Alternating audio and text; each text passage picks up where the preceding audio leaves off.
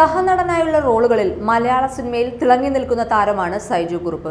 കഴിഞ്ഞ ഓണത്തിന് കൈപ്പഴ കുഞ്ഞപ്പന്റെ കൈയറുത്തപ്പോ കട്ട ചോരയ മോത്ത് തെറിച്ചത് അത്രയ്ക്കും വരില്ലല്ലോ ഒരു പീറാട് മയൂഖം എന്ന ഹരിഹരൻ ചിത്രത്തിലൂടെ അരങ്ങേറിയ താരം പിന്നീട് ക്യാരക്ടർ റോളുകളിലാണ് കൂടുതൽ ശ്രദ്ധിക്കപ്പെട്ടത്. ജയസൂര്യയും അനൂപ് മേനോനും ഒന്നിച്ച ട്രിവാൻഡ്രം ലോഡ്ജ് എന്ന ചിത്രമാണ് സൈജു കുറുപ്പിന്റെ കരിയറിൽ വലിയ വഴുത്തിരിവായത്. അല്ല ചേട്ടൻ എത്ര ശമ്പളം കിട്ടും? ഓ അത്ര വരെയൊക്കെ ചിന്തിച്ച് തുടങ്ങി. ഒരു പെണ്ണിനെ പോറ്റാനുള്ള ശമ്പളമൊക്കെ കിട്ടുമെന്ന് കൂട്ടിക്കോ. ട്രിവാൻഡ്രം ലോഡ്ജിന് പിന്നാലെ നിരവധി ശ്രദ്ധേയ സിനിമകളും കഥാപാത്രങ്ങളും സൈജു കുറുപ്പിന് ലഭിച്ചു. എന്റെ ഷാജിയേട്ടനെ തൊട്ടോമാരെ ഞാനിന്ന്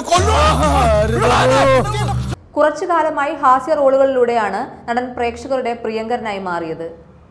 Aadu series driving licence android Kunjappan പോലുള്ള സിനിമകളിലെ സൈജു കുറുപ്പിന്റെ കഥാപാത്രം ഏറെ ശ്രദ്ധിക്കപ്പെട്ടു.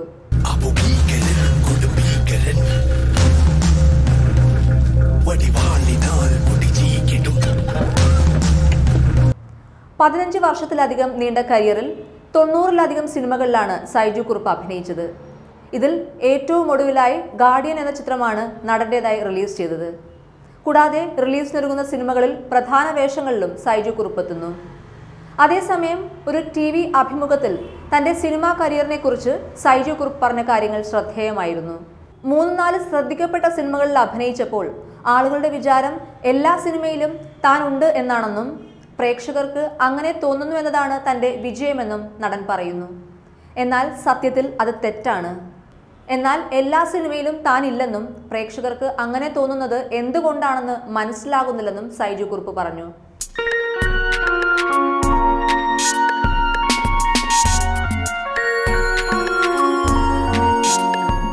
അമ്മയുടെയും ഭാര്യയുടെയും പ്രാർത്ഥന കൊണ്ട് ആളുകൾ ശ്രദ്ധിക്കുന്ന മൂന്നാൽ സിനിമകളിൽ അഭിനയിക്കാൻ കഴിഞ്ഞു. അത് ഇങ്ങനെ തുടർന്നപ്പോൾ ആളുകളുടെ വിചാരം എല്ലാ സിനിമയിലും താൻ ഉണ്ട് എന്നാണ്. സൈജു ഇല്ലാത്ത സിനിമ ഇല്ലെന്ന് ചിലരുടെ കമന്റ് താൻ കേൾക്കാറുണ്ട്. പ്രേക്ഷകർക്ക് അങ്ങനെ തോന്നുന്നു എന്നതാണ് തന്റെ വിജയം സൈജു കുറുപ്പ് പറയുന്നു. മയൂഖത്തിന് ശേഷം നടനെന്ന നിലയിൽ തനിക്ക് മികച്ചതാവാൻ കഴിയാതെ പോയതിൽ ഒരുപാട് കാരണങ്ങളുണ്ട്.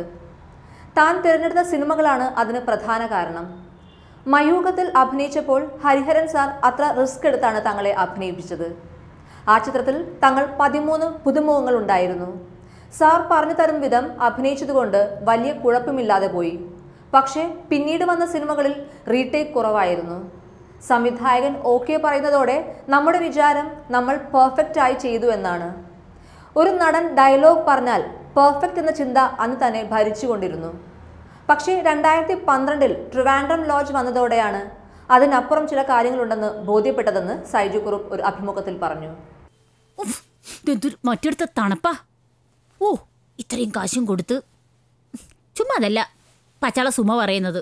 സിനിമാ രംഗത്തെ വ്യത്യസ്തമായ വാർത്തകളും സിനിമാ റിവ്യൂസും അറിയാനും നിങ്ങളുടെ ഇഷ്ടതാരങ്ങളുമായി സംവേദിക്കുവാനും news globe T V subscribe ചെയ്യുക. ഉടനടി വാർത്തകൾ അറിയാൻ ബെൽ ബട്ടൺ അമർത്തുക